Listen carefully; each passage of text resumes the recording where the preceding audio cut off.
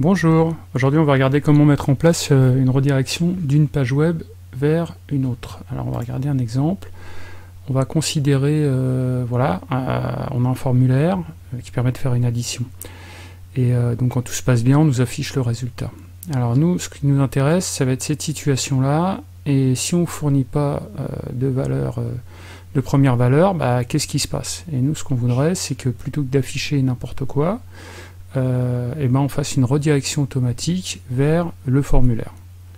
Donc c'est ça euh, qu'on cherche à, mettre en place. Donc là on a notre formulaire, hein. alors admettons mais euh, je sais pas 45 plus 5, ça nous dit bien que le résultat c'est 50, ok. Et si on dit bah voilà, on fait juste 78, qu'est-ce qui se passe? Bah Là ça nous marque voilà, quelque chose un peu bizarre, plus 78. Donc nous, on va modifier notre euh, source, code source, pour se dire euh, comment on, traite euh, ce cas de figure. Donc on va regarder la valeur du premier paramètre. Donc ici, c'est $get donc de NB1.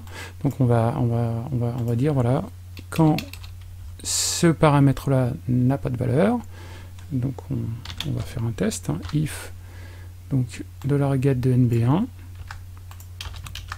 donc il est égal à la chaîne vide, c'est-à-dire qu'on n'a pas fourni de, valeur, hein. donc le, formulaire, il nous, pour nb1, on donne aucune valeur, bah, si euh, c'est la chaîne vide, il va falloir qu'on mette en place notre, euh, notre direction. Alors l'objectif de notre direction, c'est de revenir vers la, page d'accueil. Alors pour faire ça, on utilise une instruction qui s'appelle header, et on va lui dire que location, donc le, prochain fichier, donc c'est index.php. Donc on renvoie ça vers euh, le fichier euh, index, donc qui est notre euh, autre source pour rafficher le, formulaire. Alors si la redirection elle est effectuée, bah, juste derrière, on va faire un exit c'est plus la peine d'exécuter quoi que ce soit dans notre script résultat.php puisque on est redirigé vers une autre page. Donc il faut surtout arrêter l'exécution euh, du script.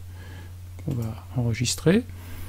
Donc on va revenir ici. Donc on va dire voilà, je ne saisis rien et je mets 45 euh, et je fais calculer.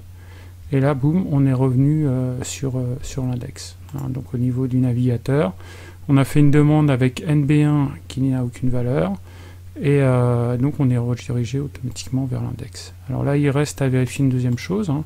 Et maintenant, si on met euh, une valeur, hein, par exemple 4 plus 78, euh, qu'est-ce que ça fait? Donc ça m'affiche toujours mon résultat. Donc on a réussi à atteindre notre objectif, hein, qui était de, de rediriger uniquement si le premier paramètre n'avait pas de valeur.